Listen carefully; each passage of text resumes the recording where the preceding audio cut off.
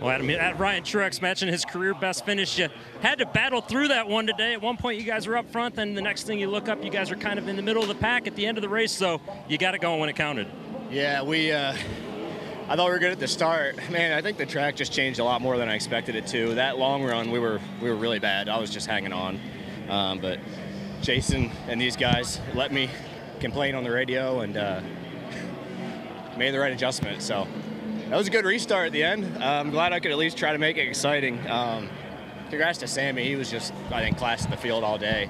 Uh, his car just looks so good. Can really kind of do whatever he wanted. But just thankful to be here. Uh, thanks to Toyota Genuine Parts. Um, it was as fast as Xfinity 10G, but I think Sammy's was just a little bit faster. Um, so try again next time. Thanks, Ryan.